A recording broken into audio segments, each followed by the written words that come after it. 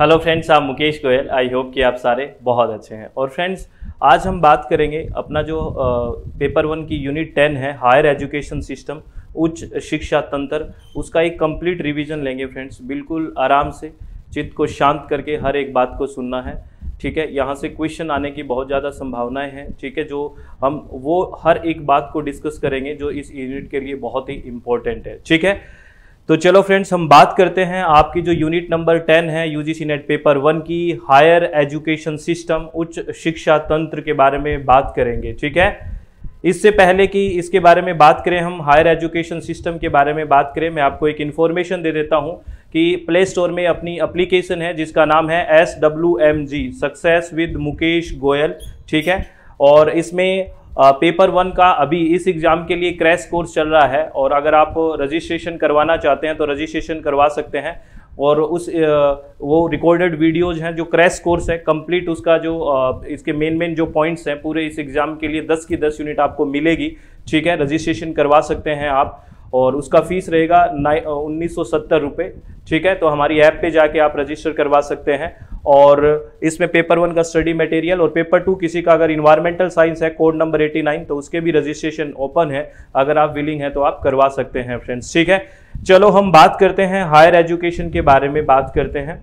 उच्च शिक्षा तंत्र के बारे में बात करते हैं। तो आप हायर एजुकेशन से क्या मतलब समझते हो, ये बताओ पहले तो। उच्च शिक्षा से मतलब क्या समझते हो फ्रेंड्स उच्च शिक्षा कौन सी?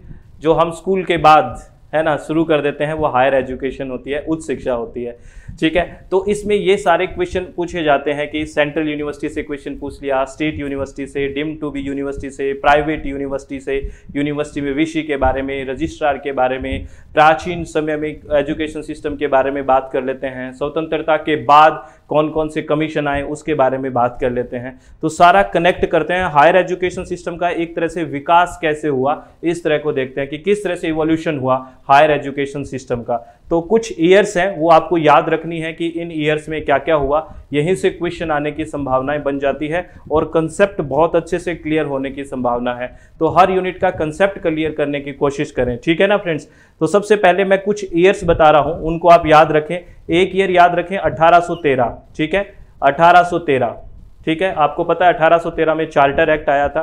अगर बात करें ऐसा माना जाता है कि जो इंग्लैंड वाले हैं, छियाने के ब्रिटिश हैं, या ईस्ट इंडिया कंपनी है 1600 में आ गई। उसके बाद पहला रेगुलेटिंग एक्ट सत्रह सौ तिहत्तर में आया। ऐसे ऐसे 1813 में भी एक चार्टर एक्ट आया। तो मैं वही उनके बारे में बात करूँगा, जहाँ एजुकेशन सिस्टम के बारे में जो जो बात हुई है तो कुछ ईयर्स आपको बता रहा हूँ, इसको कनेक्ट करना। आपके सिलेबस में तो ये दिया हुआ है कि स्वतंत्रता के बाद कौन कौन से कमीशन आए, लेकिन क्वेश्चन पूछ लेते हैं स्वतंत्रता से पहले के भी, ठीक है? तो बिल्कुल कनेक्टिविटी बना के रखें। 1813 के बारे में बात करेंगे, ठीक है? 1813 के बाद हम बात करेंगे 1835 के बारे में, ठीक है ना? 1835 के बारे में बात करेंगे। 1835 के बाद हम बात करेंगे अठारह के बारे में अठारह के बारे में, ठीक है? One eight four five four चौवन के बारे में। और फिर बात करेंगे अठारह के बारे में। पहले इन चार ईयर्स के बारे में, इन चार जो है 1813 1835 1854 1857 में क्या क्या हुआ, ये बात कर लेते हैं। यहाँ से डायरेक्ट क्वेश्चन आता है। फिर हम बात कर लेंगे। उसके बाद अठारह के बाद हम 1902 की बात कर लेंगे। 1904 की बात कर लेंगे कि क्या हुआ। उसके बाद हम बात कर लेंगे कि 1906 में क्या हुआ। उसके बाद हम बात कर लेंगे कि 1925 में क्या हुआ। उसके बाद हम बात कर लेंगे 1945 में क्या हुआ ठीक है। उसके बाद हम बात कर लेंगे कि फोर्टी एट फोर्टी नाइन में क्या हुआ। उसके बाद बावन तिरपन में क्या हुआ ठीक है। उसके बाद में तिरपन में यूजीसी के आ, का इस्टब्लिशमेंट करवा देंगे। फिर यूजीसी को एक स्टैचूटरी बॉडी 1956 में बना देंगे। उसके बाद पहली एजुकेशन पॉलिसी 1968 की बात कर लेंगे। फिर इसमें थोड़ा सा अमेंडमेंट हुआ 1976 की बात कर लेंगे 1976 की ठीक है? और फिर हम बात कर लेंगे 1986 की 1986 की, जो सेकंड एजुकेशन पॉलिसी थी, उसकी बात कर लेंगे। और 2020 की एजुकेशन पॉलिसी जो नई एजुकेशन पॉलिसी नहीं है, उसकी एजुकेशन पॉलिसी है, उसके बारे में बातें कर लेंगे। तो ये सारी कनेक्टिविटी बना के रखनी है, हर ईयर को कनेक्ट करने की कोशिश करनी है। ठीक है ना फ्रेंड्स तो 1813 की बात करें तो यहाँ पे क्या हुआ? यहाँ पे ये बात की गई कि भारतीय एजुकेशन पे एक लाख रुपए खर्च करने की बात की गई, कि एक लाख रुपए भारतीय एजुकेशन पे खर्च करने की बात की गई। ये सबसे पहले इस चार्टर एक्ट में भारतीय एजुकेशन के बारे में कुछ बात की गई, ठीक है? तो आपसे सिंपल सा क्वेश्चन पूछा जा सकता है कि ऐसा कौन सा एक एक्ट है या चार्टर एक्ट है जिसमें ये बात की गई कि भारतीय एजुकेशन पे एक लाख रुपए की खर्च करने की बात है। तो ये अठारह सौ तेरह के चार्टर एक्ट में बात की गई, ठीक है ना?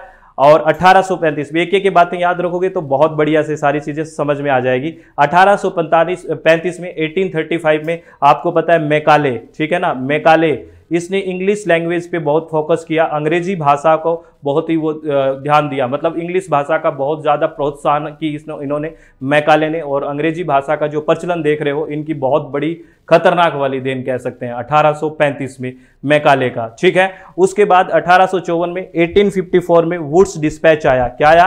1854 में क्या आया? वुड्स डिस्पैच आया। क्या आया? वुड्स डिस्पैच ठीक है ना? वुड्स डिस्पैच याद रखना, जिसको मैग्ना कार्टा बोलते हैं। Magna Carta of English language बोलते हैं। वुड्स डिस्पैच आया कब? अठारह में। और इन्होंने अपने डिस्पैच में क्या लिखा? ठीक है, ये बात सुनना। वुड्स डिस्पैच आया, तब भारत के गवर्नर जनरल थे डल होजी। कौन थे? डल होजी। कौन थे? डल होजी गवर्नर जनरल थे। आपसे ये बातें जो मैं बोल रहा हूँ, पूछी जा सकती है। अठारह सौ चौवन में वुड्स डिस्पैच आया। उस टाइम भारत के गवर्नर जनरल थे डल होजी। उन्होंने अपने उसमें क्या लिखा? वुड्स डिस्पैच में, यानी कि कुछ लेटर लिखा, उसमें क्या लिखा? उन्होंने लिखा कि प्राइमरी एजुकेशन वर्नाकुलर लैंग्वेज में होनी चाहिए। वर्नाकुलर लैंग्वेज मतलब वहाँ की लोकल लैंग्वेज में होना चाहिए। उसके बाद कहा कि सेकेंडरी एजुकेशन है, वो एंग्लो वर्नाकुलर में होनी चाहिए। यानी कि इंग्लिश के साथ वर्नाकुलर लैंग्वेज। और उन्होंने कहा, कॉलेज एजुकेशन जो है, हायर एजुकेशन है एक तरह से वो होनी चाहिए इंग्लिश या एंग्लो लैंग्वेज में इंग्लिश लैंग्वेज में होना चाहिए। ये वुड्स डिस्पैच में बोला गया, जो अठारह सौ चौवन में आया। तो आपसे ये ईयर भी पूछी जा सकती है, या ये भी पूछा जा सकता है कि वुड डिस्पैच आया, तब भारत के गवर्नर जनरल कौन थे? डल होजी थे, ठीक है? उसके बाद अठारह सौ सतावन में, अठारह की क्रांति, याद है आपको? ठीक है, अठारह में तीन कॉलेज की स्थापना हुई। कहाँ कहाँ पे? बॉम्बे, मद्रास और कलकत्ता, ठीक है ना? बॉम्बे, मद्रास और कलकत्ता। बॉम्बे, मद्रास और कलकत्ता। याद रखना, तीन कॉलेजेस की स्थापना हुई बीएमसी बॉम्बे, मद्रास और कलकत्ता। आपसे इन कॉलेजेस के बारे में भी पूछ लेते हैं कि कौन से अठारह सौ सत्तावन में कौन कौन से कॉलेजेस की स्थापना हुई? बॉम्बे, मद्रास और कलकत्ता। और जो एफिलेटेड का कंसेप्ट समझते हो आप एफिलेटेड कॉलेज का कंसेप्ट वो भी अठारह से ही आया है एफिलेटेड कॉलेज का कंसेप्ट तो इन ईयर्स को याद आ, कुछ कनेक्टिविटी बनी। 1813 में क्या हुआ? 1835 में क्या हुआ? अठारह सौ चौवन में क्या हुआ? और अठारह में क्या हुआ? तो चार पाँच बातें तो याद हो गई होगी ना यहाँ से? चार पाँच बातें तो याद हो गई होगी। चलो बहुत बढ़िया। ठीक है? उसके बाद में हम बात करें 1902 में। अठारह सौ सत्तावन के बाद सीधा हमें करना है 1902 में। 1902 और 1904 दो ईयर याद रखनी है।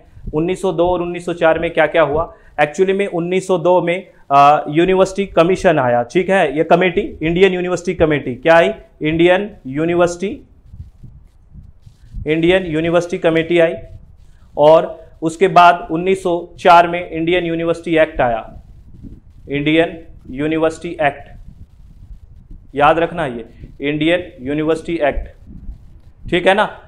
तो 1902 में क्या आया? इंडियन यूनिवर्सिटी कमीशन और 1904 में इंडियन यूनिवर्सिटी एक्ट आया। एक्चुअली में 1902 में और 1904 में आपको पता है भारत के गवर्नर जनरल कौन थे? करजन थे। कौन थे? करजन थे। तो करजन, ये भी आपसे पूछा जा सकता है। ये हरियाणा सिविल सर्विसेज़ में भी पूछा गया था फ्रेंड्स, एच में। आपसे भी पूछा जा सकता है कि जब 1902 का इंडियन यूनिवर्सिटी कमीशन आया तो भारत के गवर्नर जनरल कौन थे? करजन थे। ठीक है? तो जो इंडियन यूनिवर्सिटी कमीशन आया, उससे संतुष्ट नहीं थे करजन तो उसको चेंज करके इंडियन यूनिवर्सिटी एक्ट बना 1904 में। तो ये 1904 की बात होगी। ठीक है? तो ये सॉरी सीधा सीधा आपसे पूछा जा सकता है। उसके बाद एक ईयर याद रखना 1925 जो यूजीसी भी कई बार यहाँ से क्वेश्चन पूछ सक पूछ चुकी है 1925 से क्या हुआ था? एसोसिएशन ऑफ़ इंडियन यूनिवर्सिटी की स्थापना हुई A I U association of Indian university की स्थापना हुई 1925 में। ये क्या है? एसोसिएशन ऑफ़ इंडियन यूनिवर्सिटीज़ इसमें क्या है? जितनी भी यूनिवर्सिटियाँ हैं, उनको एक तरह से प्लेटफॉर्म दिया कि यहाँ आके आप डिस्कस करिए क्या क्या हम नया कर सकते हैं, कैसे हमारी एजुकेशन सिस्टम को अच्छा कर सकते हैं। तो ए आई यू की स्थापना Indian association of Indian university की स्थापना कब हुई? 1925 में हुई। ये बात आपको ध्यान रखनी है। ठीक है? ध्यान रखोगे? चलो, बहुत बढ़िया। उसके बाद में 1925 के बाद में हम सीधा चलते हैं। 1925 के दौर के बाद हम चलते हैं सीधा। आपको पता है सेकेंड वर्ल्ड वॉर चला ठीक है ना? उसके बाद आ, एक तरह से राष्ट्रीय एजुकेशन के बारे में बात हुई और सार्जियंट रिपोर्ट आई। सार्जियंट रिपोर्ट आई। सार्जियंट रिपोर्ट वो कब आई? सार्जियंट रिपोर्ट आई 1945 में। ये चौवालीस की घटना थी लेकिन रिपोर्ट 1945 में आई सार्जेंट रिपोर्ट और इसी रिपोर्ट के माध्यम से या इसी रिपोर्ट ने कि इसी रिपोर्ट की सिफारिश पे या इसके रिकमेंडेशन पे किस की स्थापना हुई यूनिवर्सिटी, याद रखना ये ये मिक्स हो जाता है कई बार। इसी के से किसकी स्थापना हुई? यूनिवर्सिटी ग्रांट कमिटी की स्थापना हुई। कमीशन नहीं है, जो आप यूजीसी देख रहे हो, वो नहीं है ये। ये यूजीसी क्या है? यूनिवर्सिटी ग्रांट कमिटी है, ध्यान रखना। ये कन्फ्यूज़न हो जाता है। कई लोग ये सोचते हैं या कई स्टूडेंट जल्दबाजी में गलती ये कर सकते, कर देते हैं कि यूनिवर्सिटी ग्रांट कमीशन की बात कर रहा हूँ मैं यूजीसी की। नहीं नहीं सार्जेंट रिपोर्ट के, से ने किसका रिकमेंडेशन किया? यूनिवर्सिटी ग्रांट कमेटी की। किसका? यूनिवर्सिटी ग्रांट कमेटी की। और आपको पता है यूनिवर्सिटी ग्रांट कमेटी की सिफारिश हुई। उसके बाद 1945 के बाद आपको पता है कि भारत स्वतंत्र हो गया 1947 में और 1948 उनचास में एक कमीशन आया यूनिवर्सिटी एजुकेशन कमीशन कौन सा आया? यूनिवर्सिटी एजुकेशन कमीशन ठीक है ना? यूनिवर्सिटी एजुकेशन कमीशन आया। कब आया? 1948 उनचास में। ठीक है ना?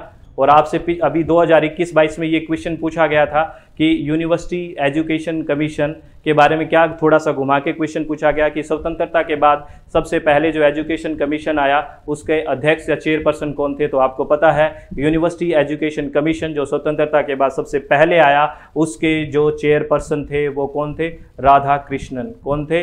राधा कृष्णन श्री राधा कृष्णन जी थे, ठीक है ना? राधा कृष्णन जी थे। याद रखना राधा कृष्णन जी, ठीक है? उन्नीस सौ में जो यूनिवर्सिटी एजुकेशन कमीशन आया और जो आज आप यूजीसी देख रहे हो यूनिवर्सिटी ग्रांट कमीशन अब जो यूजीसी है यूनिवर्सिटी ग्रांट कमीशन का जो रिकमेंड किया था, वो इसी आयोग ने किया था राधा कृष्णन कमीशन ने, यानी कि जो उन्नीस सौ में यूनिवर्सिटी एजुकेशन कमीशन आया, इसी ने यूजीसी की स्थापना का रिकमेंडेशन किया यूजीसी यूनिवर्सिटी ग्रांट कमीशन की।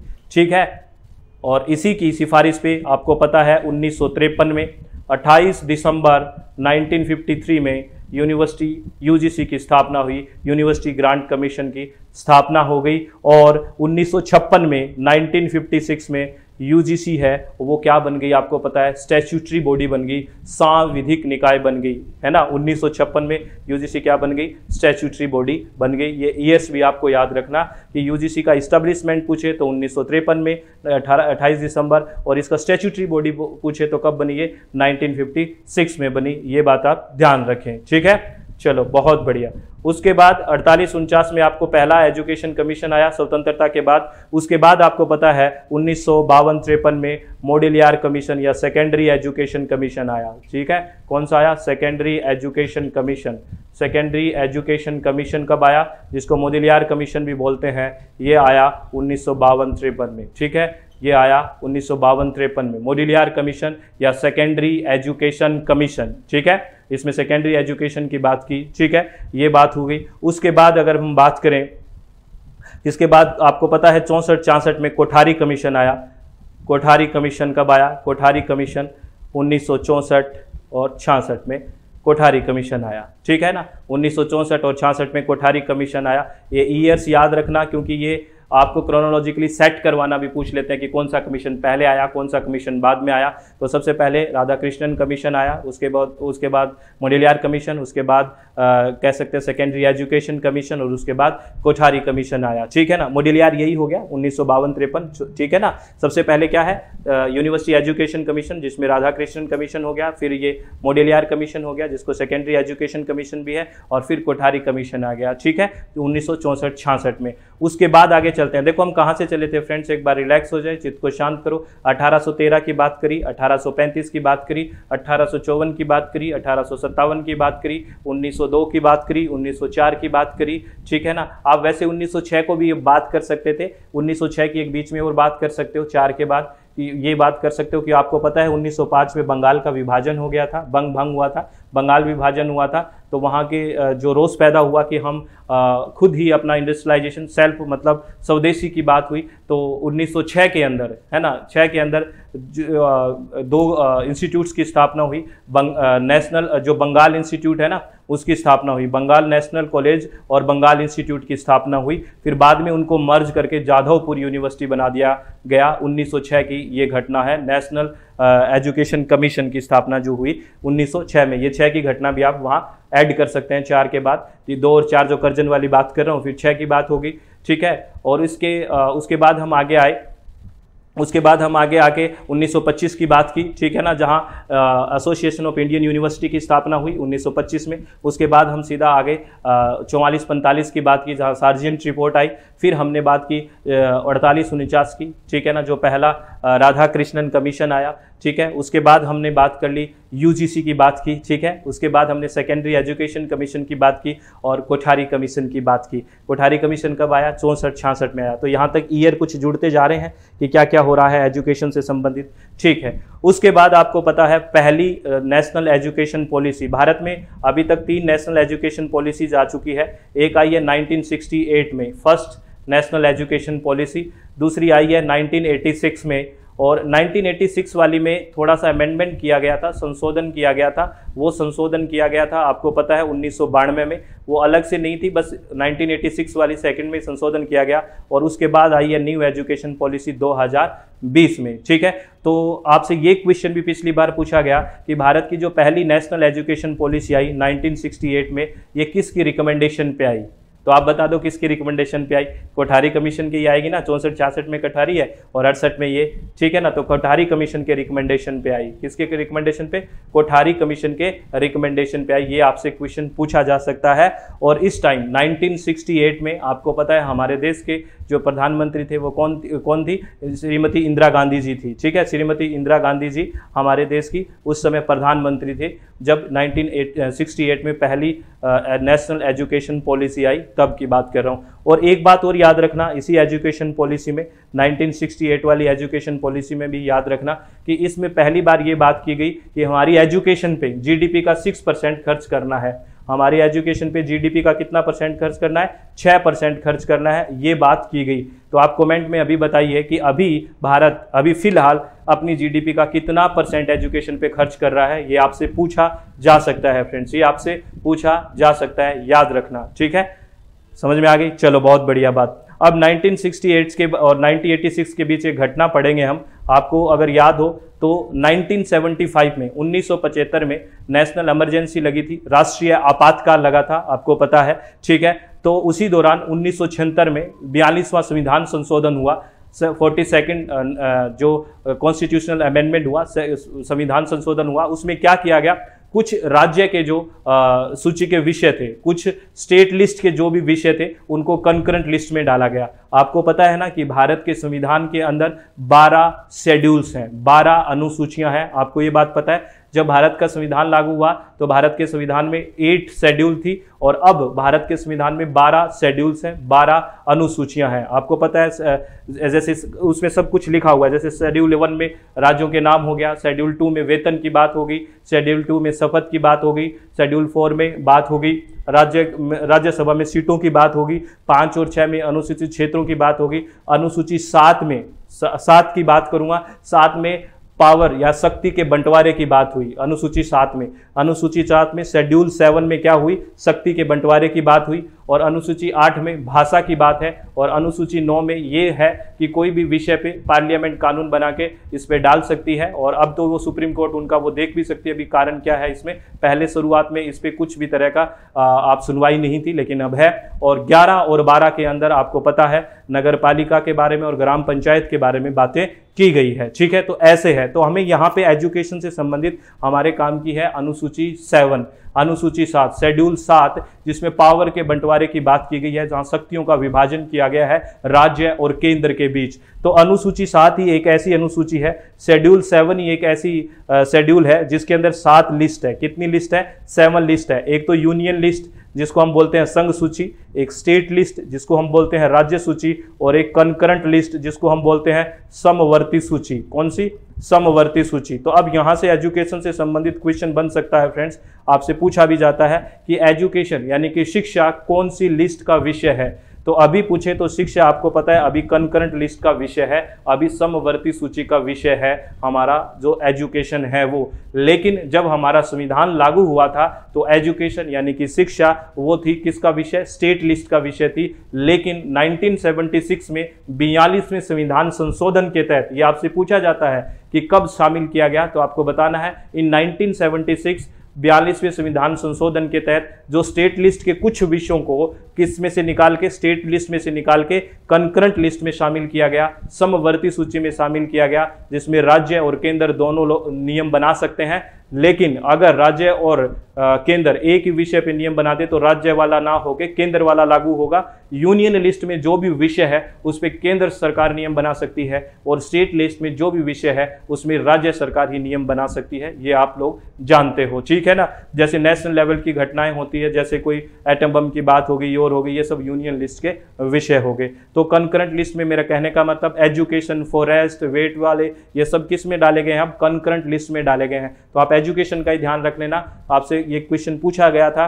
कि एजुकेशन किस लिस्ट का विषय कंकरेंट का, कब शामिल किया गया? 1976 में शामिल किया गया। और यहाँ एक लगते लगते एक बात और कर लेना। कंपलसरी एजुकेशन की बात की गई है। आर्टिकल नंबर ट्वेंटी ए इक्कीस ए में ये भी आप ध्यान रखना। ठीक है?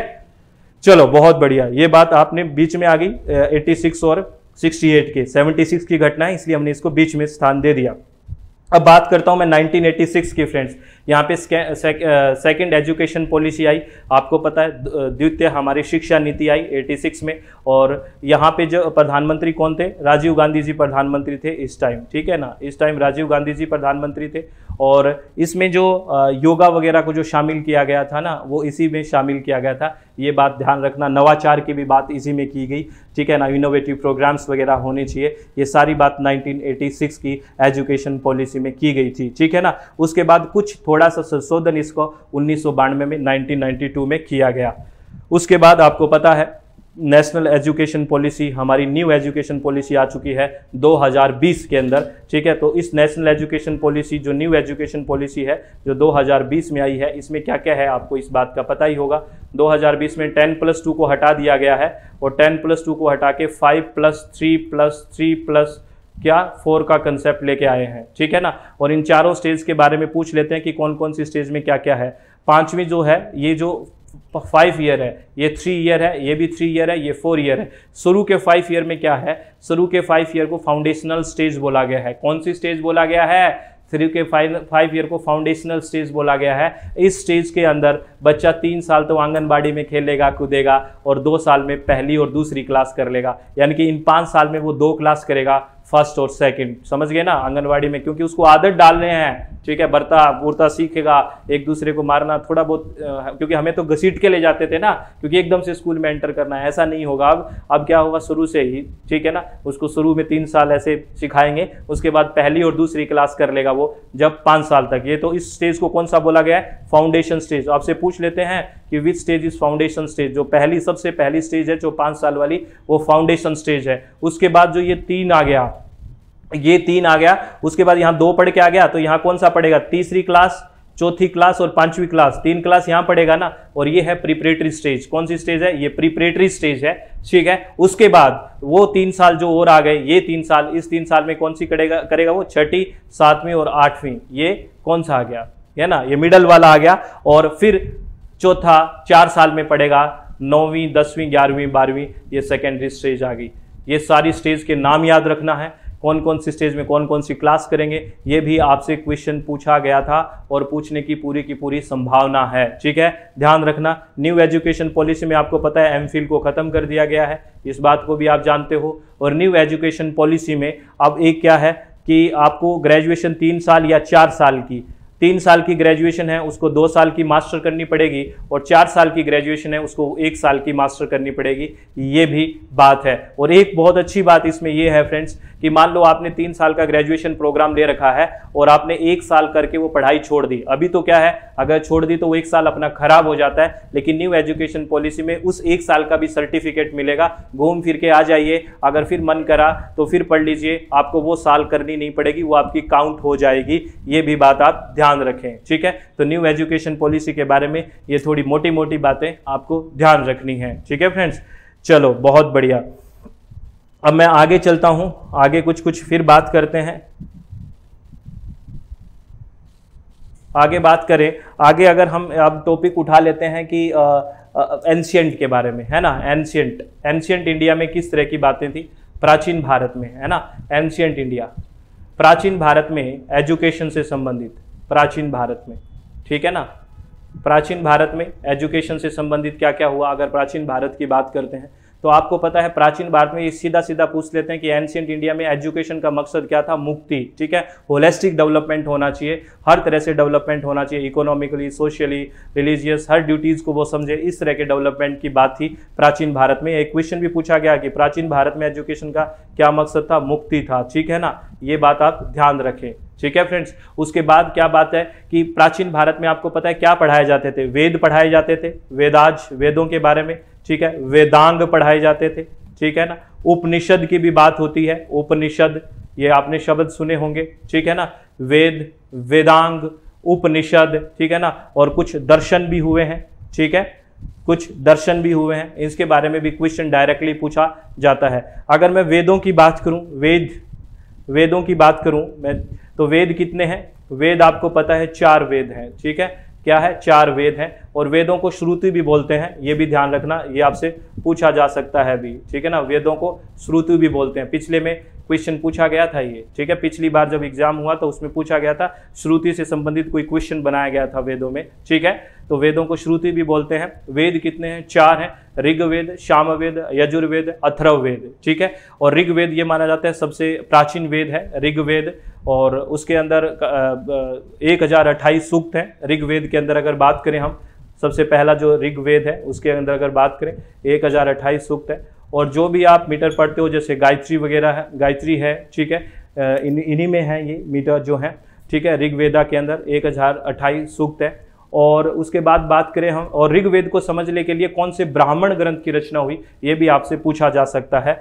एतर्य ब्राह्मण ग्रंथ की रचना हुई। कौन सा एतर्य ब्राह्मण ग्रंथ की रचना हुई? ऋग्वेद को भली भांति समझने के लिए कौन से ब्राह्मण ग्रंथ की रचना हुई? एतर्य ब्राह्मण ग्रंथ की रचना हुई, ये भी आपसे पूछा जा सकता है। अगर बात करें सामवेद सामवेद, ये हमारा जो भी क्लासिकल म्यूज़िक है इंडियन ये सामवेदा से है है ना? सामवेद से है। और सामवेद को समझने के लिए जो सबसे सामवेद को समझने के लिए जो ब्राह्मण ग्रंथ था वो पंचविश ठीक है ना? पंचविश था ये भी आप याद रख लें। शामवेद ठीक है? उसके बाद मैं बात करूँ यजुर्वेद। यजुर्वेद में बात है यज्ञ की बात है है ना? यजुर्वेद में किसकी बात है? यज्ञ की बात है जो कर्मकांड है उनकी बात की बात की गई है है ना? आ, तो यजुर्वेद को समझने के लिए कौन सा है? गौपथ। कौन सा है? यजुर्वेद के लिए गोपथ नहीं है अथर्ववेद के लिए हम गोपथ मानेंगे छोरी ब्राह्मणगत यजुर्वेद के लिए है, शतपथ, याद रखना। शतपथ, यजुर्वेद के लिए कौन सा है? शतपथ है। शतपथ है। ठीक है ना? ब्राह्मण ग्रंथ जिसकी रचना हुई और गोपथ हुई है अथर्ववेद के लिए। कौन से वेद के लिए? अथर्ववेद के लिए, जो सबसे नवीन वेद माना जाता है है ना? अथर्ववेद सबसे नवीन वेद माना जाता है, अथर्ववेद। और इसके अंदर ही आयुर्वेदा का ज़िक्र हुआ ये क्वेश्चन आपसे पूछा गया था कि कौन से वेद में आयुर्वेदा का ज़िक्र हुआ है? तो अथर्व वेद में ही आयुर्वेद का ज़िक्र हुआ है। है ना? आयुर्वेद का ज़िक्र किसमें हुआ है? अथर्व वेद में हुआ है। तो ये भी आप ध्यान रखें। ठीक है फ्रेंड्स? चलो, ये सारी बातें रिवीजन कर लेना दिमाग में। जिसने पढ़ रखा है उसका प्रॉपर रिवीजन हो रहा होगा फ्रेंड्स। ठीक है? परेशान ना होना। आराम से चित्त रिलैक्स करके मन की शांति से एक फास्ट रिवीजन लेना है हमें। ठीक है? चलो, बहुत बढ़िया बहुत बढ़िया, बहुत शानदार, अति उत्तम। उसके बाद अगर मैं बात करूँ फ्रेंड्स वेदांग।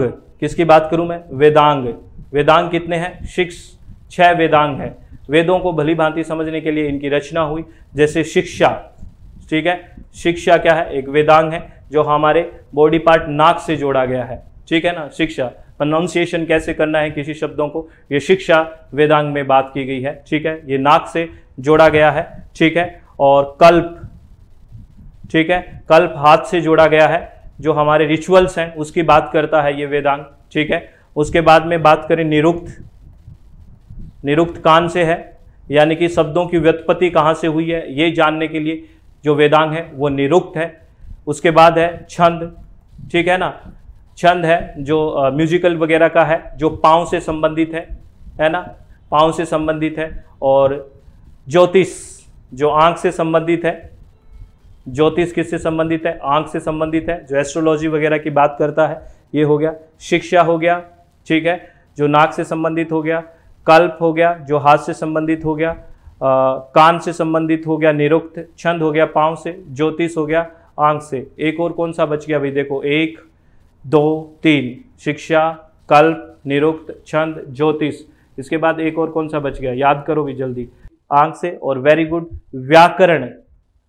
व्याकरण हो गया मुख से, ग्रामर। ये था व्याकरण। व्याकरण हो गया मुख से। ठीक है ना? व्याकरण किससे हो गया? मुख से हो गया।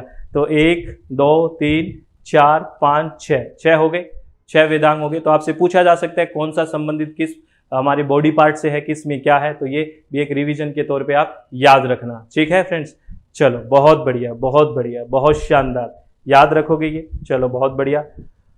उसके बाद हम बात करें, कुछ यूनिवर्सिटीज़ हुई हैं, आपको पता है, कुछ प्राचीन यूनिवर्सिटियाँ जैसे नालंदा यूनिवर्सिटी हुई है बिहार में, ठीक है?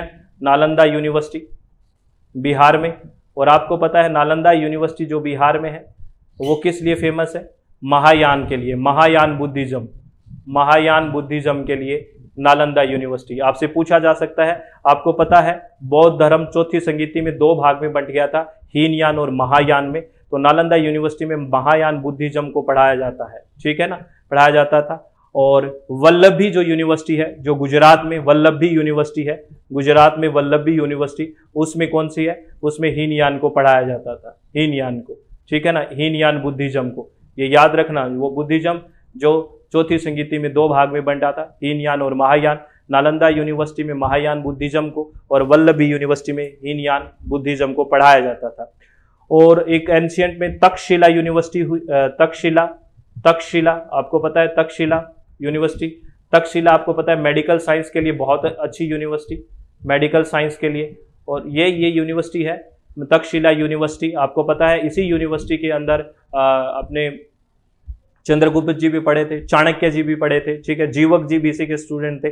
तो तक्षशिला तक्षशिला एक काफ़ी अच्छी यूनिवर्सिटी और मेडिकल साइंस के लिए जानी मानी यूनिवर्सिटी जी, ठीक है? ये भी आपको ध्यान रखना है। ठीक है फ्रेंड्स? चलो, और उसके बारे में आप कुछ कुछ बातें और भी याद रखते रख सकते हैं। जब मैं वहीं पे बात कर रहा हूँ फ्रेंड्स, जहाँ से क्वेश्चन पूछने की बहुत ज़्यादा संभावनाएँ हैं, ठीक है? अब मैं बात करूँ यूजीसी के बारे में। हमने बात कर ली कि ये स्टैचूटरी बॉडी है यूजीसी 1953 में स्थापना हुई और 1956 में स्टैचूटरी बॉडी बनी। ये हमने बात कर ली है और इसका काम क्या है? फंडिंग करना, ठीक है? कोऑर्डिनेशन बना के रखना, ये सारा काम है इसका। एजुकेशन को बढ़ावा देना, ये सब काम है यूजीसी का। उसके बाद में अगर हम यूजीसी के साथ साथ नैक पर लें N double A C accreditation के लिए जो काम करता है नैक ठीक है ना? एक्रीडेशन का काम करता है? नैक नैक की फुल फॉर्म भी लिख देना। नैक है ना? जो एक्रीडेट करता है, जो यूनिवर्सिटी आप ए ग्रेड है ना बी ग्रेड ऐसे ए प्लस ग्रेड जो यूनिवर्सिटीज देता है, वो नैक देता है। और आपको पता है नैक है वो जनरल जो कॉलेजेस हैं, उनकी ग्रेडिंग करता है। जबकि जो एनबीए है, जो एन है ये भी एक्रीडेशन का काम करता है और इसकी भी फुल फॉर्म निकला, लिख देना नीचे कमेंट बॉक्स में। और एनबीए क्या करता है, किसको एक्रीडेट करता है, जो टेक्निकल और मैनेजमेंट के कोर्स होता है, उनको क्या करता है? एक्रीडेट करता है और इसके साथ हम ए e पढ़ते हैं। ए e पढ़ते हैं, ठीक है? जो टेक्निकल के लिए आपको पता है टेक्निकल का सब कौन देखता है? ए e देखता है और टेक्निकल को एक्रीडेट कौन करता है? एनबीए करता है, ठीक है ना फ्रेंड्स जो वाशिंगटन अकॉर्ड का फुल मेंबर है, ये भी आपसे पूछा जा सकता है। एन वाशिंगटन अकॉर्ड का क्या है? फुल मेंबर है, इसको भी आप ध्यान रखना, ठीक है? याद रखोगे? चलो, बहुत बढ़िया। ये सारी बातें याद रखना है। यूजीसी को इससे जोड़ लो नेक्स्ट से और आप मुझे ये भी बताओ, इसमें कौन कौन सी स्टैचूटरी बॉडी है? ये आप बताना। N B A U G C NAAC A I C T इसमें कौन कौन सी स्टैचूटरी बॉडी है? सांविधिक निकाय है, जो पार्लियामेंट एक्ट के तहत बनी है। कौन कौन सी इसमें स्टैचूटरी बॉडी है? ये आप बताना कौन कौन सी स्टैचूटरी बॉडी है? प्लीज़ बताना। आप जानते हो ना कॉन्स्टिट्यूशनल बॉडी है ना संवैधानिक निकाय होते हैं, फिर एक्स्ट्रा कॉन्स्टिट्यूशनल बॉडी जो होती है, उनको दो भाग में बांटते हैं स्टैच्यूटरी बॉडी जिसको सांविधिक निकाय बोलते हैं और एग्जीक्यूटिव बॉडी जिसको कार्यकारी निकाय बोलते हैं। जैसे नीति आयोग एग्जीक्यूटिव बॉडी है, इस तरह से ये सारी बातें आपको देखनी है और मुझे आप कॉमेंट बॉक्स में बताना कि कौन कौन सी बॉडी है। ठीक है फ्रेंड्स चलो, बहुत बढ़िया। उसके बाद में डीईसी के बारे में बात करते हैं। डिस्ट्रिक्ट जो डिस्टेंस एजुकेशन काउंसिल के बारे में बात करते हैं। Distance education council. और आपको पता है डिस्टेंस एजुकेशन काउंसिल के बाद क्या बन गई वो? अभी क्या बन गई है? Distance education bureau. ये भी आपसे यूजीसी ने क्वेश्चन पूछा। तो आप मुझे बताओ, जो डिस्टेंस एजुकेशन काउंसिल थी, वो डिस्टेंस एजुकेशन ब्यूरो कब बनी? Distance education bureau. ईयर बताना है आपको। प्लीज़ ये ईयर बताना। डिस्टेंस एजुकेशन काउंसिल थी, वो डिस्टेंस एजुकेशन ब्यूरो कब बनी? ये भी मुझे आप बता देना। ठीक है? चलो, बहुत बढ़िया बहुत बढ़िया। उसके बाद रुषा। रुसा, राष्ट्रीय उच्चतर शिक्षा अभियान, रुषा, ठीक है ना? राष्ट्रीय उच्चतर शिक्षा की बात करेगा ये, और रूसा की स्थापना आपसे पूछी गई थी कब हुई? 2013 में। और मैं तो ये बात बोलता ही हूँ, क्या रूशना जब मैं तेरा हूँ तो है ना? रूशना ठीक है? रूसा राष्ट्रीय उच्चतर शिक्षा अभियान की स्थापना कब हुई? 2013 में हुई। और एक है एस एस सर्व शिक्षा अभियान, इसकी स्थापना बताना कब हुई? सर्व शिक्षा अभियान की सर्व शिक्षा अभियान। और मैं आपको बता देता हूँ कि सर्व शिक्षा अभियान किसका अपडेटेड वर्जन है, ये आप बताओगे का? आप बताओगे? चलो मैं ही बता देता हूँ डीपीपी की अपडेटेड है ये, ठीक है? अब इसकी फुल फॉर्म आप बता देना। सर क्या कर रहे हो? दिमाग हिल जाएगा। अरे, दिमाग नहीं हिलेगा कॉन्फिडेंस आएगा। आपको सारी बातें याद है। सर्व शिक्षा अभियान किसका अपडेटेड है? एक तरह से पहले क्या चल रहा था? है ना? याद रख लोगे? चलो, बहुत बढ़िया। अटल बिहारी वाजपेयी जी के टाइम थी, ये थोड़ा सा बता देता हूँ आपको। अब याद आया कुछ? आ गया होगा ना? चलो, बहुत बढ़िया। उसके बाद अगर हम बात करते हैं फ्रेंड्स उसके बाद हम बात करें जो यूनिवर्सिटीज़ के बारे में बात करते हैं, ठीक है ना? यानी कि पॉलिसीज़ के बारे में बात करते हैं यूनिवर्सिटीज़ के बारे में। तो वीसी के बारे में क्वेश्चन पूछ लेते हैं वाइस चांसलर के बारे में, है ना? वाइस चांसलर के बारे में क्वेश्चन पूछ लेते हैं, ठीक है? चांसलर के बारे में क्वेश्चन पूछ लेते हैं, ठीक है? रजिस्ट्रार के बारे में बात हो जाती है। तो ये सारी बातें ऐसे हैं। तो आपको याद रखना है वीसी जो है वाइस चांसलर जो होते हैं, वो किसी भी यूनिवर्सिटी के एग्जीक्यूटिव हेड होते हैं। ये पिछली बार भी क्वेश्चन पूछा गया कि किसी भी यूनिवर्सिटी के एग्जीक्यूटिव हेड कौन होते हैं? एग्जीक्यूटिव हेड होते हैं वाइस चांसलर वीसी होते हैं। ठीक है ना? वीसी होते हैं। और जो स्टेट यूनिवर्सिटीज होती है, और ये सब इनकी जो वाइस चांसलर की नियुक्ति कौन करता है? एक तरह से चांसलर करता है। और एक बात और बताना मुझे सेंट्रल यूनिवर्सिटी जो हैं सेंट्रल यूनिवर्सिटी उनका विजिटर कौन होता है? जितने भी हमारे केंद्रीय विश्वविद्यालय हैं सेंट्रल यूनिवर्सिटीज़ के, सेंट्रल यूनिवर्सिटीज़, हमारे जो केंद्रीय विश्वविद्यालय हैं, उनके विजिटर कौन होते हैं? केंद्रीय विश्वविद्यालय के। केंद्रीय विश्वविद्यालय के जो विजिटर है, वो होते हैं प्रेसिडेंट, याद रखना, प्रेसिडेंट, राष्ट्रपति। केंद्रीय विश्वविद्यालय के जो हमारे विजिटर हैं, वो कौन होते हैं? राष्ट्रपति होते हैं, ये बात भी आप ध्यान रखना। और डिम्ड यूनिवर्सिटी क्या होती है? डिम्ड यूनिवर्सिटी कोई भी इंस्टीट्यूट जो अपने क्षेत्र में कोई विशेष कार्य कर रहा हो, डीम्ड यूनिवर्सिटी, उसको, किसको बनाते हैं? कोई भी इंस्टीट्यूट जो अपने क्षेत्र में विशेष कार्य कर रहा हो तो उसका यूजीसी तो रिकमेंड करती है कि इसको यूनिवर्सिटी का दर्जा दिया जाए और सेंट्रल गवर्नमेंट उसको दर्जा देती है। याद रखना, उल्टा मत कर देना। रिकमेंड कौन करता है? यूजीसी और दर्जा कौन देता है? सेंट्रल गवर्नमेंट ठीक है? ये याद रखना, डिम्ड यूनिवर्सिटी। जैसे आई बैंगलोर एक डिम्ड यूनिवर्सिटी है। इस बातें, इस इस बारे में ये चीज़ें ध्यान रखना, डिम्ड यूनिवर्सिटी के बारे में। ठीक है? याद रखोगे। चलो बहुत बढ़िया। उसके बाद हम आ, बात कर सक हाँ ये जो सेंट्रल यूनिवर्सिटी आपको पता है पार्लियामेंट एक्ट के तहत बनती है ठीक है? और स्टेट यूनिवर्सिटी जो होती है वो लेजिस्लेटिव असेंबली से बनती है क्योंकि डिम्ड का तो आपको पता लग गया कि रिकमेंड करती है यूजीसी और बनाती है सेंट्रल गवर्नमेंट। वैसे ही सेंट्रल जो यूनिवर्सिटी है वो पार्लियामेंट के तहत बनती है पार्लियामेंट से एक्ट बन के और जो स्टेट यूनिवर्सिटीज़ हैं वो लेजिस्लेटिव असेंबली जो विधान सभा है उसकी उनकी उससे बनती है मतलब वो उसको बनाते हैं, विधानसभा से उनको पावर मिलती है। ठीक है? ये बात आप ध्यान रखें। और जो स्टेट यूनिवर्सिटीज़ होती हैं ना, जो स्टेट यूनिवर्सिटीज़ होती हैं स्टेट यूनिवर्सिटी जो राज्य विश्वविद्यालय होते हैं, उनके जो चांसलर होते हैं, वो कौन होता है बताओ? स्टेट यूनिवर्सिटी जो हमारे राज्य विश्वविद्यालय उसके चांसलर कौन होते हैं बताओ? राज्य यूनिवर्सिटी के चांसलर कौन होते हैं? स्टेट यूनिवर्सिटी के। राज्य यूनिवर्सिटी के जो चांसलर हैं, वो होते हैं गवर्नर कौन होते हैं? गवर्नर कौन होते हैं? गवर्नर यानी कि राज्यपाल होते हैं। राज्यपाल होते हैं। ठीक है? कौन होते हैं? गवर्नर होते हैं, राज्यपाल होते हैं। इस बात को ध्यान रखें। ठीक है? और ये विजिटर के तौर पे भी होते हैं स्टेट यूनिवर्सिटी के ठीक है गवर्नर यानी कि राज्यपाल। इस बात को ध्यान रखना ये कई बार कन्फ्यूज़न हो जाता है। यहाँ पे आ, कोई कई बार सीएम ऑप्शन आता है तो हो जाता है। ये कॉन्फ्लिक्ट भी चल रहा है अगर अभी न्यूज़ में भी चल रहा है। वेस्ट बंगाल की विधानसभा ने कुछ बिल भी पास किया है इस मुद्दे पे उस पर भी थोड़ा कॉन्फ्लिक्ट चल रहा है फ्रेंड्स ठीक है? तो याद रखना ये। स्टेट यूनिवर्सिटी के जो चांसलर है वो कौन होते हैं? गवर्नर होते हैं। इस बात को आप ध्यान रखें। तो और एक बात और कि जो सिलेबस वगैरह है, उसको ऑथेंटिकेट करने का काम यूनिवर्सिटीज़ में सिलेबस वगैरह के लिए कौन करता है, वो होती है एकेडमिक काउंसिल शैक्षणिक परिषद, ये भी आप ध्यान रखना एकेडमिक काउंसिल शैक्षणिक परिषद, ये सीधा सीधा क्वेश्चन उठ के आ जाता है, ठीक है? चलो, मेरे को हिसाब से अपन ने लगभग सारी बातें एक बार रिवाइज कर लिया है, फटाफट कि कौन सी चीज़ें कहाँ होनी चाहिए, क्या आता है, क्या नहीं, फटाफट हमने अठारह सौ तेरह से। एक बार फिर एक बार रिमाइंड करना क्या क्या बातें की है। हमने बात की 1813 से एक बार मैं फिर आपको थोड़ा सा बता देता हूँ। 1813 में बात की। एक बार थोड़ा आप रिवाइज करो। फटाफट मैं थोड़ा पानी पी लूँ। चलो 1813 में बात की, है ना? 1835 की बात की। रिमाइंड करो फटाफट। अठारह चौपन की, अठारह की, ठीक है? उसके बाद 1902 1904 1906 उसके बाद 1925 उसके बाद 1945 उसके बाद उन्नीस अड़तालीस उनचास उसके बाद उन्नीस तिरपन उसके बाद उन्नीस सौ बावन तिरपन के बाद उन्नीस सौ चौंसठ छियासठ उसके बाद उन्नीस सौ अड़सठ उसके बाद उन्नीस सौ छिहत्तर उसके बाद उन्नीस सौ छियासी उसके बाद 2020 और उन्नीस सौ बानवे की बात भी की। ये मैक्सिमम बातें कवर कर ली। यूजीसी के बारे में भी बात कर ली नैक के बारे में बात कर ली एनबीए के बारे में बात कर ली। अब एनसीईआरटी कब स्थापना हुई, ये कमेंट बॉक्स में बता दो। ऐसे फैक्चुअल इन्फॉर्मेशन तो आपको पता ही है एन ई पाठशाला ये तो बता ही दोगे आप। अरे बता दोगे ना, इतना सारा रिवाइज तो कर ही लो एक बार। फटाफट फटाफट फटाफट रिवाइज कर लो एग्ज़ाम के टाइम इसको एक बार देख जाना तो थोड़ा कॉन्फिडेंस रहेगा कि मैं ये सारी चीज़ें देख के आया हूँ और सारा खेल ही तो कॉन्फिडेंस का है फ्रेंड्स अगर अच्छा कॉन्फिडेंस है तो सब बेहतर होगा।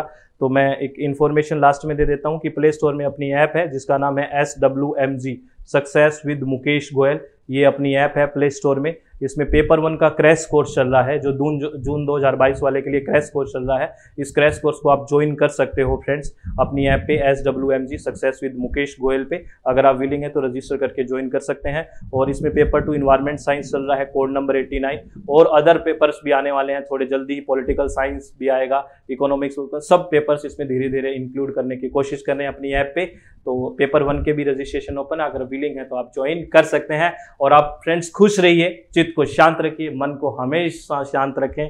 और चीज़ों को कॉन्सेंट्रेट होकर एकाग्र होकर सुने। किसी भी तरह की टेंशन ना लें। प्लीज़ मेरी रिक्वेस्ट आपसे, अगर टेंशन लोगे तो बहुत खतरनाक हो जाएगा और जो आपकी तैयारी है ना, वो खराब हो जाएगी। आपकी तैयारी बहुत अच्छी है अब सारा खेल है, आपके अच्छे कॉन्फिडेंस का, बिल्कुल कॉन्फिडेंट रहिए, चित्त को शांत रखिए, आराम से पेपर को दे के आइए, बहुत अच्छा होगा। अगर मेहनत की है तो बिल्कुल अच्छे से सिलेक्शन होगा टेंशन ना लेना, लेकिन बस चित्त शांत रहे, मन खुश रहे। ऑल द वेरी बेस्ट बहुत बहुत धन्यवाद। Thank you thanks lord friends बहुत बहुत धन्यवाद सभी का।